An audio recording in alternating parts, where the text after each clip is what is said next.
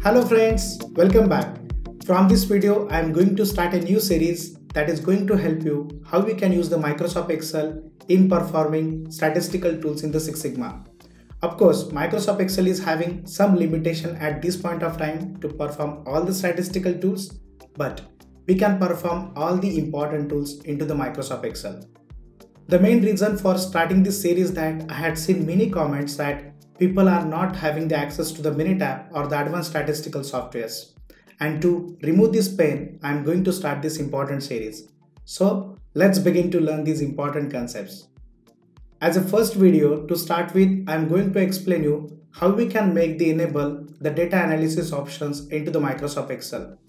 If you are already having the data analysis tab in active mode, that's good. But if it is not, please follow the procedure so that you can have the data analysis tab ready to perform all the statistical operations that we can perform using Microsoft Excel. Now to check whether the data analysis option is active in your Microsoft Excel or not, just go to the data tab and there you can see whether you can see the analyze option or not. If it is there, it's absolutely fine. But if it is not, let's follow the procedure. First, go to the file, then go to the options tab. In that, we need to select the option add-ins in add-ins, we can see there are multiple active application add-ins that we can see. Now we are interested in analysis ToolPak, right? So click on this analysis ToolPak, go to the below and we can see there is option manage. Here we need to select as an Excel add-ins and then select go. Here we can see there are four options analysis ToolPak, analysis ToolPak VBA, Euro currency tools and solver add-in. Check all of these options and then click OK. After performing this step, please go to the data and under data, you can see whether you got the subtab named analyze. This consists of data analysis and solver both, which is required to perform all the statistical tools that are possible in Microsoft Excel.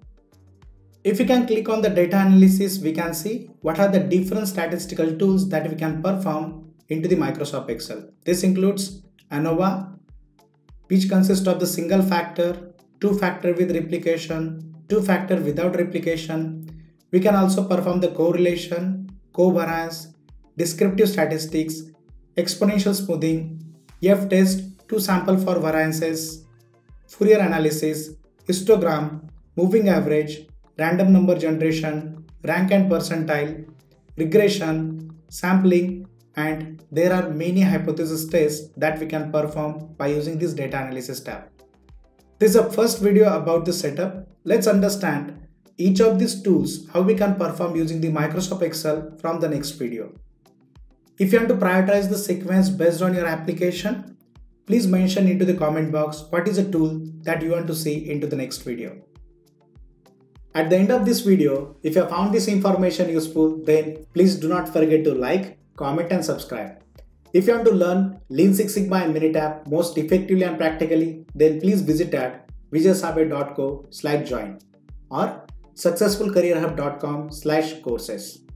One more important thing, if you want to support me or appreciate my efforts, you can also join my YouTube channel by clicking the join button at my YouTube channel.